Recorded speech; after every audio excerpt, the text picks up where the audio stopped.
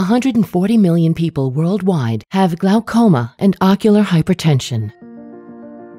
Glaucoma is a chronic blinding disease and its treatment aims at reducing eye pressure.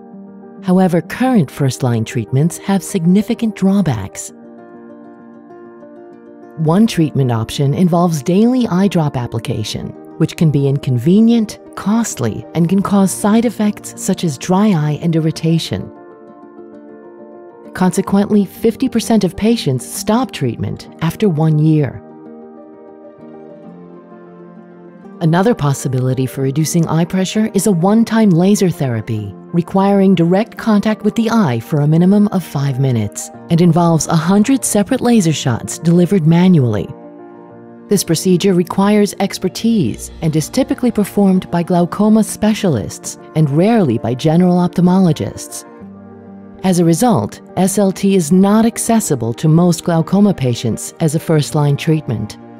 The European Glaucoma Society and the NICE UK have both updated their guidance to direct doctors to use SLT as first-line treatment for glaucoma, shifting away from drops. Belkin Vision introduces accessible first-line glaucoma care for all. Treatment is fast, non-invasive, and does not involve contact with the eye. An advanced image processing algorithm locates the exact treatment area while the physician activates treatment with a single press of a button.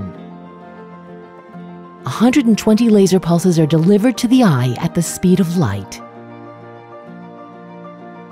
Therapy takes just seconds, resulting in eye pressure reduction.